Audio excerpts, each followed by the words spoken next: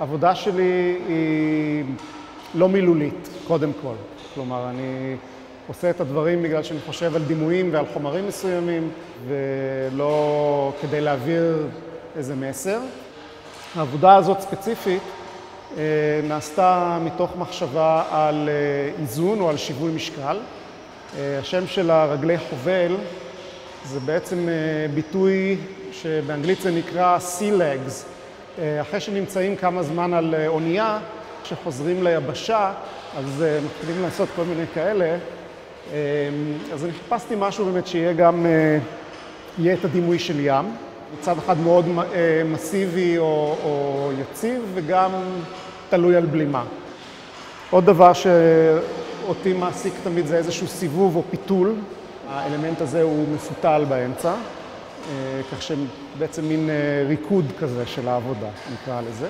כל העבודה הזאת עשויה מעצים ממוחזרים, כל מיני משקופים ופסולת של שיפוצים בתל אביב. ואם מסתכלים מהצד הזה, אז אפשר בעצם לראות ממש את הקרשים הגסים, כל אותו חלק שפה נראה מגולף ומשויף וככה אורגני, בצד השני אפשר לראות את כל הבנייה המאוד מאוד פשוטה וגסה, הדבקה של קרשים אחד על השני. זה גם סוג הניגודים שאני אוהב להתעסק איתם בחומר ובצורה. אני כל הזמן רושם ומצייר ועושה הדפסים ועושה פסלים, והדימויים מזינים אחד את השני. כלומר, הציור הזה נעשה אחרי הפסל, אבל, והוא ליווה אותו,